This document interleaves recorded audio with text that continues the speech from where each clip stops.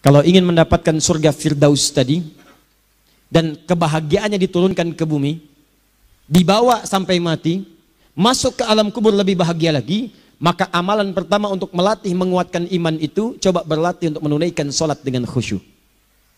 Kalau anda kerjakan benar sholat ini, maka apa yang anda dapatkan? Teman-teman ingat betul, saya mau tanya sebentar. Keabadian yang abadi disebut dengan sa'id. Kalau kita ingin turunkan ke dunia percikannya kita dapatkan usahanya disebut dengan apa? Masih ingat? Aflah itu kalau didapatkan, kata dasarnya apa tadi? Falahun. Lihat baik-baik.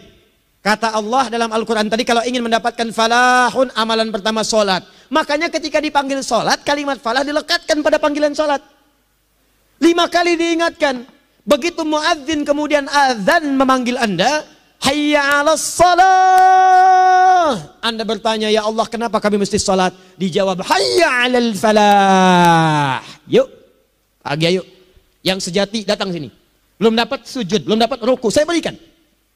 Makanya ketika orang sholatnya benar, dia akan mendapatkan lima keutamaan. Saat di dunia nih, belum ke akhirat, lima keutamaan. Yang tidak diberikan pada orang yang tidak sholat. Atau orang sholat tapi sholatnya nggak khusyuk. Sebab syarat mendapatkannya khusyuk. Alladzina hum fi sholatihim khasyun. Bukan alladzina hum fi sholatihim saja. Tapi ada kalimat khasyun. Artinya yang tidak khusyuk saja nggak akan dapat. Apalagi yang nggak sholat. Apa yang lima ini? Lihat baik-baik. Satu, Orang yang sholatnya benar, pertama kali sebelum mendapatkan kebahagiaan hakiki dari Allah Subhanahu wa Ta'ala, akan dirubah dulu perilaku hidupnya menjadi perilaku yang lebih baik. Kalau orang itu sholatnya benar, maka sholat itu akan melatih dia untuk berubah, bertransformasi jadi orang baik. Itu ada di Quran surah ke-29 ayat ke-45. Inna sholata tanha anil fahsyai wal munkar. Sumber keburukan cuma dua, kalau bukan fahsya itu mungkar. Maaf, pornografi, porno aksi, LGBT, kata-kata jorok, kotor itu fahsya. Di orang sholat kata Allah, mustahil berkata-kata kotor. Orang sholat tidak akan pernah mencela. Orang sholat tidak punya kata-kata jorok. Jadi kalau ada sekarang orang yang sholat senang mencela orang lain, itu berarti ada masalah dalam sholatnya. Dan dia belum dijamin sebagai ahli surga terbaik. Dan hidupnya nggak bahagia.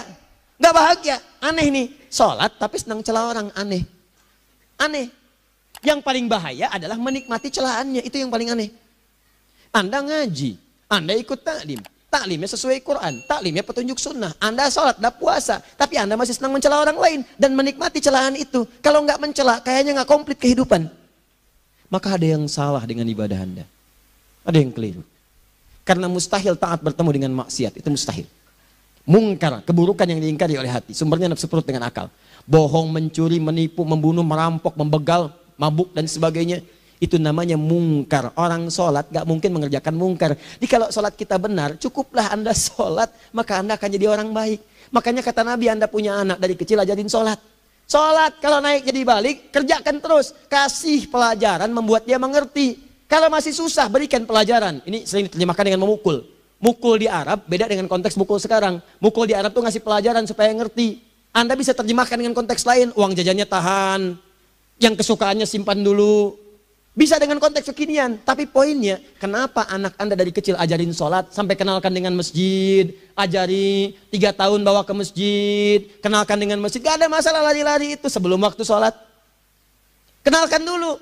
Dulu orang-orang tuh begitu sebelum waktunya dikenalkan, jalan, begitu lari, biarin dulu.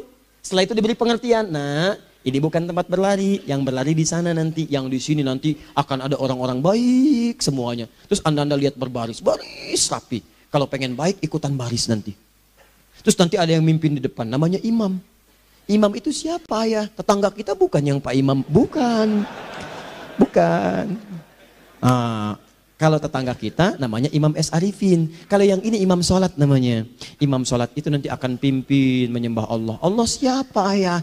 Allah itulah yang memberikan ayah rizki. Allah itu yang memberikan ayah rizki sehingga bisa beli tobot buat kakak beli robokar poli, ini yang poli, ini yang embers, ini yang heli, ini dulu kakak semuanya tuh. Yang kasih Allah. Nanti kalau kakak bagus bisa ikut rapi di sini, Allah akan senang, akan ditambah lagi oleh Allah. Oh begitu ya, datang. Begitu caranya. Ini bukannya waktu sholat belum dikenalin tadi bawanya main-main di masjid. Bahkan ada yang agak repot lagi, di rumahnya susah diatur. Diatur, dibilang, kamu ini susah diatur, main sana ke masjid. Disuruh main, ya main di masjid. Yang salah bukan anaknya, orang tuanya. Apa rahasianya anak itu disuruh ke masjid, suruh sholat? Rahasianya, begitu anak itu sholat dengan baik, maka dia akan tumbuh jadi anak baik di kemudian hari. Itu maksudnya. Nah sekarang saya agak bingung ini. Pendidikan TK sekarang salah sih? Enggak, cuma saya agak bingung mikirnya. Ini anak belum diajarin sholat, udah diajarin manasik. Itu bagaimana cara berpikirnya Ferguson? Agak repot saya mikirnya tuh. Ya. Walaupun salah sih enggak, cuma saya bingung gitu. Kenapa enggak dikerjakan tahap yang pertama dulu? Tangga itu kan berurutan. Enggak bisa Anda lompat langsung ke lima. Kan satu dua belum terlewati. Jelas ya? Ah, ini gambarannya. Sholat nih. Satu pasti baik. Jadi kalau sekarang sholat, lisan belum baik, mata belum baik, sampai ke kaki, berarti ada yang salah sholatnya tuh. Ada yang nggak tepat. Tangan sembarangan, snack orang ngambil. Awas. Tuh sendal orang, mau wudhu nggak ada sendal pakai sendal orang. Udah bilang belum? Kehujanan pakai payung orang, udah bilang belum? Ya kan gampang Ustaz, ini kan juga mungkin diikhlaskan karena Allah. Ya ikhlas, cuman pakainya belum minjam. Bagaimana kalau sedang pegang payung itu keluar, Anda meninggal? Nah, coba mikirin ke situ. Coba ke kantor. Kalau didorong proyek yang gak jelas, minta tanda tangan, pikirin dulu bagaimana kalau meninggal. Kemarin saya sama teman-teman artis saya katakan begini, Anda ya, kalau Anda mengaji dengan saya, jangan pernah menerima peran maksiat. Walaupun itu sekedar adegan, tapi itu maksiat. Kalau bayangkan ketika Anda memerankan itu, Anda diwafatkan oleh Allah Subhanahu Wa Taala. Maka demi Allah saya katakan tidak ada faedahnya Anda ngaji sekarang, ngaji besok. Ketika Anda menerima peran itu Anda wafat dalam keadaan bermaksiat di hadapan Allah Subhanahu wa taala. Maka saya pun katakan pada Anda, ayo pelajar, belajar yang betul. Pahami, bangun sholat, belajar, dalami seperti orang tua kita dulu. Tinggalkan nyontek budaya ah yang nggak jelas. Rasakan ketika nyontek Anda wafat. Apa yang Anda dapatkan? Di Libya itu kalau nyontek, di Libya ya, ini saya pernah sekolah di Libya nih. Itu kalau nyontek dibiarin aja dulu dan rekornya 100% ketahuan. Begitu sudah selesai, cuma jeda dua jam, langsung ada panggilan. Si Fulan silahkan datang ke kantor. Apa yang disediakan di kantor sudah siap. Anda diberi waktu dua jam dari sekarang, siapkan beres-beres koper Anda. Di sini tertulis Anda akan pulang. Tiketnya sudah lengkap, dikawal dua orang. Dituliskan di situ anak ini nyontek, gak boleh kembali ke sini. Tibia. Gak ada zero tolerance bagi yang seperti itu. Keluar. Kami gak terima di sini. Harusnya begitu. Gak ada faedahnya. Yang kita butuhkan amalan dari ilmu bukan nilai-nilai itu sementara. Gak ada. Sudah. Nah ini akhirnya begini kualitasnya nih. Tertulis di ijazahnya bagus, kumlot, IPK-nya 4. Tapi gak ada aplikasinya. Yang pintar banyak. Kita butuh yang baik. Pintar yang baik. Sekarang yang pintar banyak. Kepintarannya dipakai untuk nipu orang. Itu yang bahaya. Ahli hukum banyak yang dihukum. Ahli ekonomi tidak bisa mengangkat perekonomian. Apa yang salah? Apa yang salah? Ini yang jadi persoalan. Tapi dasar manusia begitu di sidang mulai pakai peci, pakai baju koko, pakai tasbih, ada yang pakai kerudung. Ah, luar biasa. Nih, dua. Orang kalau sholatnya benar, Allah akan berikan ketenangan dalam jiwanya. Tenang hatinya. Jangankan musibah kecil, musibah paling besar pun tenang aja dia. Tenang, dia paham rumusnya. Allahu Akbar. Turun Quran. Surah ke-13 ayat ke-28. Ala bidzikrillahi tatmainnul Yakinkan pada dirimu zikir kepada Allah membuat hati tenang. Di antara turunan zikir amalannya adalah salat. Dari mana tahunya Quran surah ke-20 ayat ke-14? Innani anallahu la ilaha illa ana fa'budni wa aqimis salata li. Saya Allah, kata Allah ke Nabi Musa. Tidak ada Tuhan selain saya, sembah saya. Bagaimana menyembahmu ya Allah? Tunaikan salat sebagai zikir kepada saya. Zikir. Nah, maka kalau anda sedang tidak tenang, ayo ke masjid. Banyak zikir itu, baca Quran zikir. Quran surah 15 ayat 9. Inna nahnu nazzalna, nazzalna dzikra. Kami turunkan Al-Quran sebagai zikir. Jadi kalau anda sedang baca Al-Quran, anda sedang berzikir. Ibu kalau sedang nggak tenang bu, gelisah, nggak enak, nggak usah mengeluh, apalagi bikin status gak karuan. Ibu wudhu, ambil mushaf baca. Begitu sedang baca ada ketenangan dalam jiwa. Berdoa, zikir. Kalau sedang nggak tenang besok ada proyek, doa dulu. Doa itu memberikan ketenangan. Makanya doa disebut dengan zikir. Quran surah ke-7 ayat 205. Wadhkur rabbaka fi nafsika tadarruan wa khifatan wa dunal jahri minal qaul. Ayo berzikir minta kepada Allah dengan segenap jiwamu mohon dengan penuh ketawaduan. Nanti ketenangan diberikan. Menghafal Quran, baca-baca, baca-baca, baca-baca itu zikir.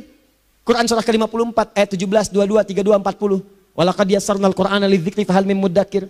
Menyebut nama Allah, Asmaul Husna itu zikir. Sedang ada persoalan, ya Allah, ya Allah, ya Allah, ya Rahman, ya Rahim, ya Malik, ya Kudus, ya Allah, ya Allah, ya Allah, ya Allah. Zikir.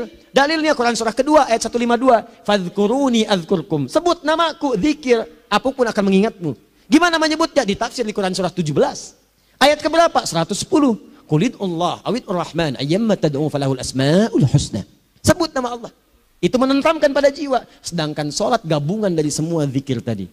Bukankah dalam sholat Anda baca Al-Quran? Bukankah dalam sholat Anda menghafal Al-Quran? Bukankah dalam sholat Anda berdoa? Bukankah dalam sholat Anda istighfar? Anda mohon digabungkan semua itu. Amalan sholat menggabungkan semua jenis zikir. Masa Anda nggak tenang juga? Makanya sholat, jangankan sholat ya, tempat sholat itu yang menenangkan. Tempat sholat, tempat paling tenang di muka bumi. Kalau nggak percaya silahkan. Ya, Anda sebelum masuk ke istiqomah ini, begitu Anda masuk kan perasaannya beda kan? Lain. Silahkan cek kalau cari ketenangan datang ke masjid masuk, wudhu masuk, sholat dua rakaat, tenang. Dekat kipas angin, saking tenangnya, plek ngantuk tidur. Beneran. Enak. Makanya saat Ramadan kalau orang pengen cari ketenangan, lihat. Di perusahaan-perusahaan penuh tuh musola, pada tidur. Ya, mengamalkan hadis palsu. Ya, dia musoim ibadah, tidurnya orang puasa ibadah, hadis palsu. Nah, itu teman-teman. Itu itu gambarannya tiga, tiga. Orang yang sholatnya khusyuk benar, itu dijamin langsung oleh Allah Subhanahu wa taala akan dimudahkan semua urusan hidupnya termasuk rezekinya. Ini yang saya katakan. Jadi saya katakan tadi di akhirat ini di surga rezeki tinggal ngambil ngambil ngambil ngambil. Anda kalau benar sholatnya itu langsung dijanjikan oleh Allah. Rezeki itu nggak perlu Anda banyak pikirkan. Ikhtiar sedikit datang datang bahkan dari sisi yang tidak Anda duga. Apa dalilnya? Quran surah ke-65 ayat 2 dan 3. Ditafsir di Al-Baqarah ayat 2 dan 3. Wa may yattaqillaha yaj'al lahu makhraja ada orang yang meningkatkan takwanya kepada Allah, kami mudahkan urusan hidupnya. Setiap persoalannya diberikan jalan keluar, mudah. Solusi. Setiap ada problematika, ada solusi. Wa yarzuqhu min haitsu la yahtasib. Dan kalau dia ingin mendapatkan rezeki, bahkan kami kirimkan dari sisi yang tidak dia duga. Orang lain capek, capek, capek ini datang lagi, tawaran proyek datang lagi, datang lagi, datang lagi. Utsman tuh masya Allah, kayanya banyak. Tapi yang paling dirindukan bukan saat mendapatkan peningkatan omsetnya. Yaitu saat dia mendapatkan waktu khusus dengan Allah untuk sholat. Malam hari sampai-sampainya sempat sholat tahajud sampai hatam Al-Quran. Abdurrahman bin Auf demikian, Tamim Ad-Dari demikian. Sholat, sholat karena tahu. Sholat itu meningkatkan rizki. Karena tahu kuncinya ada di situ, Allah yang punya rizki. Disebut dengan razak, pemilik rizki. Maka saya harus punya hubungan dekat dengan Allah. Kalau sudah punya hubungan dekat, mau apa aja gampang. Belum minta, udah diperhatikan. Silahkan cek, Anda punya hubungan baik dengan bos Anda di kantor. Sebelum Anda minta, beliau udah pikirin tuh. Telepon bendahara. Eh, dia udah ngambil belum gajinya? Belum pak, tambahkan bonus sekian. Kenapa? Karena dia mengawasi Anda. Allah maha tahu dibandingkan dengan bos Anda. Mendekat kepada Allah semua diperhatikan oleh Allah.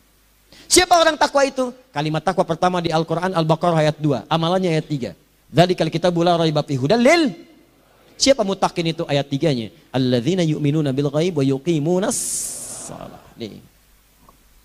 Di gampang. Kalau pengen mudah hidupnya gampang. Biaya nggak mahal, tenaga nggak banyak. Tingkatkan takwa. Nih. Jadi kalau hidup Anda masih susah, di kantor champion, di rumah tangga bermasalah terus, atau sebaliknya, maka boleh jadi kalau gelar Anda tinggi, harta Anda banyak, tapi selalu punya masalah, bukan Anda kurang hebat, bukan Anda kurang kedudukan, bukan Anda kurang kaya, Anda kurang takwa. Dan yang paling dahsyat, mungkin sholat Anda belum berkualitas. Orang yang sholatnya benar, khusyuk dia, bahkan saat sholat itu kalau dia minta, maka seketika doanya akan dikabulkan. Tanpa diskusi, langsung, seketika. Contoh, Quran surah ketiga, ayat 38 sampai 39. Demi Allah saya katakan, Nabi Zakaria punya masalah, masalahnya pelik. Sudah berumah tangga, istrinya difonis monofos, maaf bahkan mandul.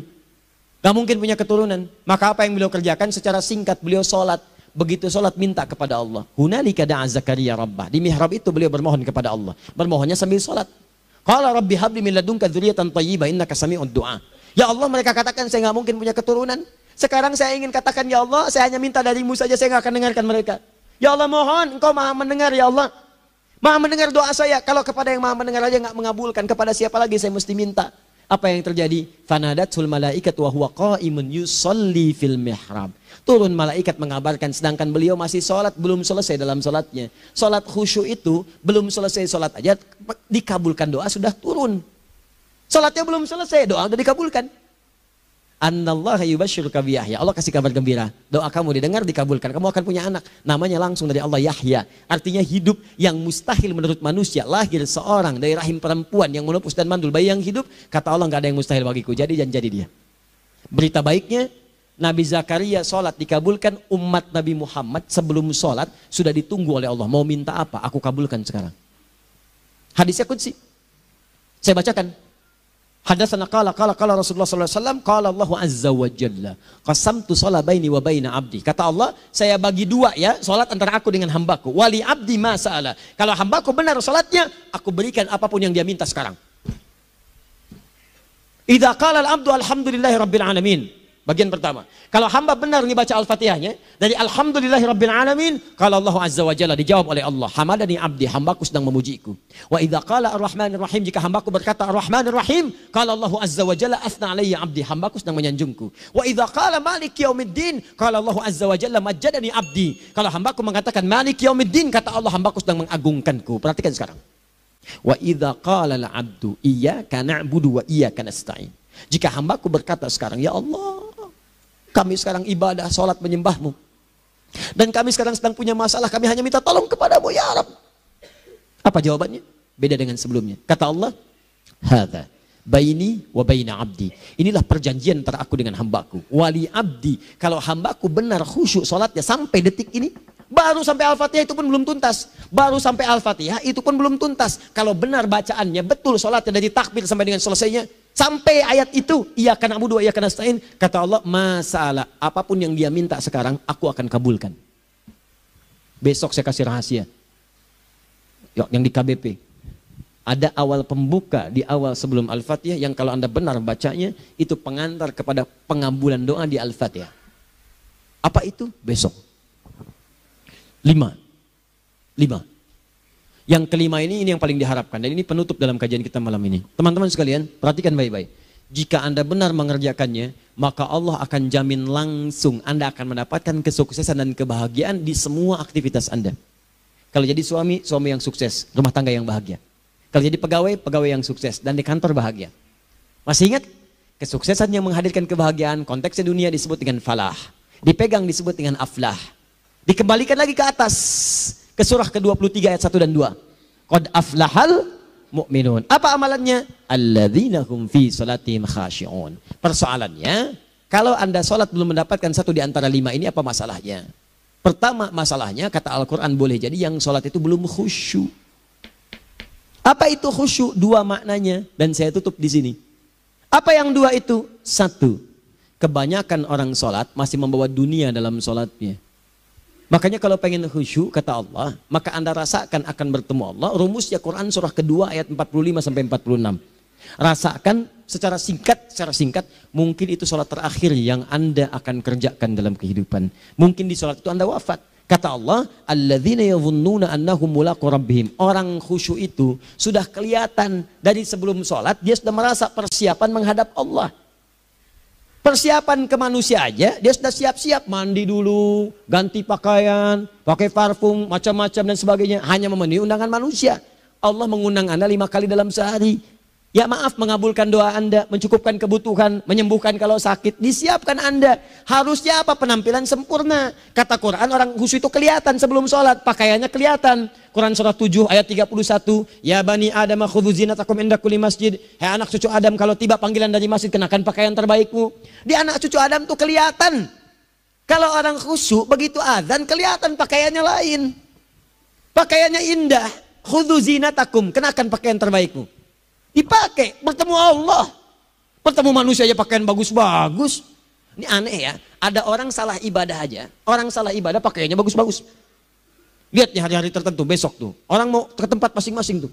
Ada yang pakai jas, pakai dasi, pakai batik, pakai kebaya. Anaknya dibawa, dikuncir dua, bawa manisan macam-macam. Mau salah ibadah aja, tampilan bagus. Masa antum yang benar ibadahnya nggak bagus? Bedakan. Pakaian futsal, pakaian futsal, pakaian sholat, ganti dengan yang sholat. Ini gimana pakaian sholat pakai pakaian futsal? Depannya gambar Messi, belakang Ronaldo. Ah, repot. Malaikatnya juga bilang, kamu salah baju, harusnya Luka Modric.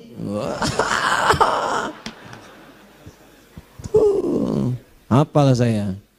Nah, mau tanya apa? Mourinho dipecat saya tahu. Lagi nganggur sekarang, ditawarin Benfica dia nggak terima.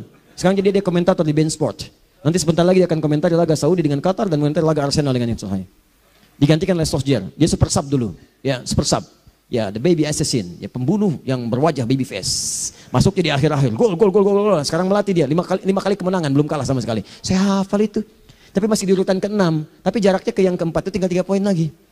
Hafal saya, Liverpool tahu, cuma empat poin sekarang bedanya, kemarin tujuh.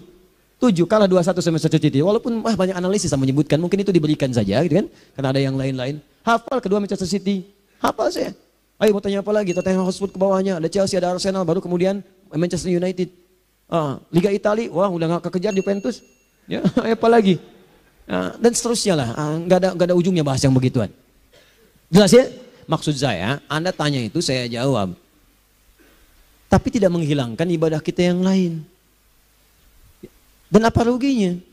Ya tahajud ya tahajud dah. Apa yang bisa dikerjakan besok, lihat besok. Ya kan tahajud kan bisa besok. Ada orang tahajud jam 10 pagi? Gak ada.